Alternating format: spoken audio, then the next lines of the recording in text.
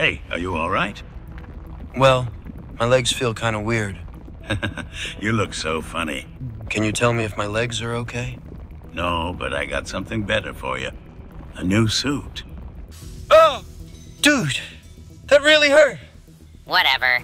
How come I didn't get any anesthesia? Well, we didn't realize you were such a whiner.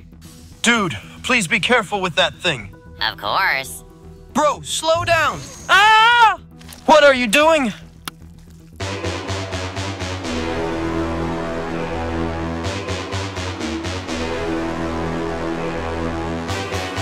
What?